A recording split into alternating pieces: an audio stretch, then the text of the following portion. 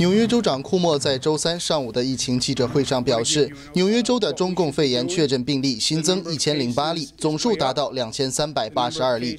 库莫下令要求纽约州所有公司保证需要离开家上班的员工不超过百分之五十，执法、医疗和食品等关键岗位行业除外。在纽约市，周三下午的确诊人数已经增加至一千八百七十一例，医疗系统面临床位和呼吸机短缺的问题。对此，白宫将派遣美国海军医疗舰“舒适号”进驻纽约港口，以增加一千个床位。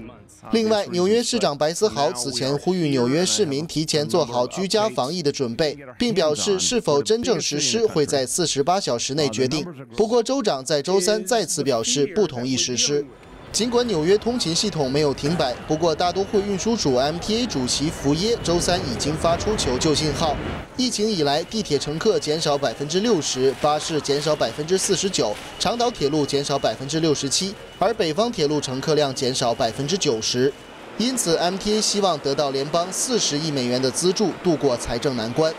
新唐人记者韩瑞纽约报道。